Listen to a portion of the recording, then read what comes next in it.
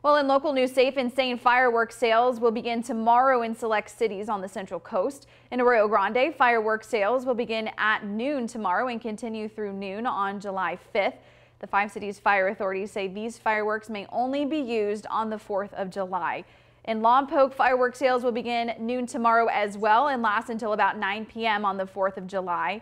Lompoc city officials say the use of these fireworks are only allowed from 9 a.m. through 10 p.m. on July 4th. To learn more about firework rules in both cities, you can read these stories on our website, ksby.com.